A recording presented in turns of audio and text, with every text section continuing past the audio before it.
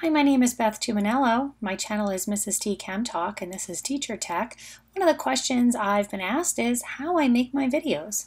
So in this video, what I'm going to do is I'm going to take you through just that. So I'd like to ask you to please like and subscribe, and if you'd like to turn the notifications on, you can find out when I'm making other teach teacher tech videos. So the very first thing that I'd like to do is tell you about the Wacom Intuos tablet. So this is an older version of it, but the newer version is just, um, looks very similar. It just has an entire dark gray or black background, um, you know, instead of having this, this gray edge here. And this connects via USB to my computer. Um, and it, you can see it really doesn't take up that much space. So when I make my videos, all I need is space for a notebook. That's my list of videos I want to make. These are some notes to myself, and I just always have a notebook and a pen and my laptop. Um, that, along with my Wacom tablet and a program called Ink2Go, is all that I use. So I've brought us to the Wacom webpage, and I've actually clicked on the products. Um, and when you click on the products, um, there are different levels of things here. Where I want you to focus on is the Wacom Intuos. That's the one that's most similar to the one that I use. Actually, mine is just an older version of the Wacom Intuos. And you can see that where mine had the white, uh, grayish white space, there's just a nice little um, place for your pen to go in there. So if you look here, you can find out about all the different features. There's some videos and some information. There is a Bluetooth version. Um, I believe there's also a Bluetooth adapter so that you don't have to clog up your USB ports. I prefer just to do it USB and keep it simple. Um, but there's lots of information on this page here. And the next place we're going to do, or next place we're going to go, is we're going to look at the Ink2Go page to see where you can get the software that I use. Hi, um, so here we are on the Ink2Go website which is ink2go.org. And what you can see is that there is a place to download the Mac version. There's also a place to download the Windows version. And there is a 15 day free trial.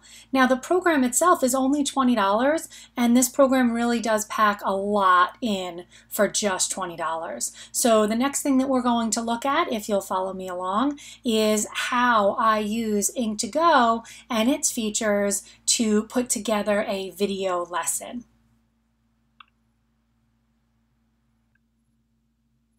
So where we are now is in PowerPoint and in PowerPoint is where I make most of my lessons that I'm going to use for use with the Wacom tablet and Ink2Go. Um, you can also see this toolbar up here. This is the Ink2Go toolbar um, and it works really seamlessly with my Wacom tablet. So I can actually use my Wacom tablet and move, the, I'm moving the pen around on the tablet right now and I'm using it as if it was a mouse. Um, and then I'm just going to click on my pen I can pick my color. I really like blue. So maybe I want to point out in this picture, oh look, here I am. I'm holding my Wacom tablet and here's my laptop and I can see what's going on on the screen. I have some molecule models here, um, things like that. The next thing I would do is wipe the screen, go back to mouse, and then I can go to the next slide if I want to, which happens to be another slide of my setup at my kitchen table instead of on my desk. So this is really simply all you need to get started to make these videos with a Wacom tablet. And the next place we're going to go, if you'll follow me, is to one of my pre-made presentations that I make prior to making one of my videos. So here I have open one of my AP Chemistry PowerPoints. And what I would do is just open it up right from the beginning and go to each slide and go through them and, um, you know, just present this as if I was presenting in school on the board.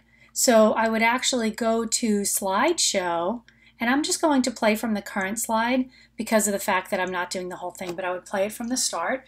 Um, I would scoot my toolbar up a little bit or down depending on the place where you want it. Um, right here I have this nice blue bar here that's in the, you know, that's not really showing anything anyway. Um, so I'm going to just put it there. And anytime you want to change slides or interact with the PowerPoint tools, you want to put Ink2Go as a cursor And you actually can use the PowerPoint pen and change the pen color here as well. That's pretty much the only thing though that you can do with the PowerPoint tools. With Ink2Go's tools, you can have a, a pen and you can pick the color, you can highlight, you can draw shapes. Here, let me just move the, the this out of the way a little bit. You can you can pick the pen color. There's a lot of different colors. You can highlight and you can choose the color. You can draw shapes in different colors. And the most important part here that I like really is the eraser. It really makes it easier for you to um, either erase a mistake or erase and make room for something like that. So for this particular slide, there was information given about the initial concentrations of the reactants and the products. And what I would have set up here is a rice chart, reaction, initial, change, and equilibrium. And then I would put my numbers in here. I would do some different annotations. Maybe I would write the K expression, which would be NH3 squared oops, look, I made a mistake. I can go to my eraser and just erase this piece right here. Um, NH3 concentration squared over concentration of N2 times the concentration of H2 cubed. And then I would finish um, solving this entire problem and recording and screen recording my speaking along with it. So when I want to move to the next slide, or if I want to com completely get rid of everything that I've written, I hit the the part to wipe it, and then I just go to my cursor, and then I can just go to the next, advance to the next page. And this one already had initial change in equilibrium, and then it actually had the words, the work written out, but I prefer, and my students prefer, to see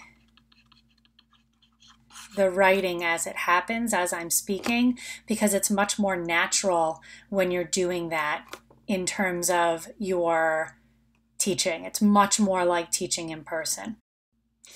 So something that I've been using is this pause over here. And in between clips, if you want to change the background of a screen or you want to get a problem set up on the screen before you continue to record, you can pause and it will seamlessly put those clips together. You press the pause, and then when you are ready to go back, you press this turns into a play for you to get started.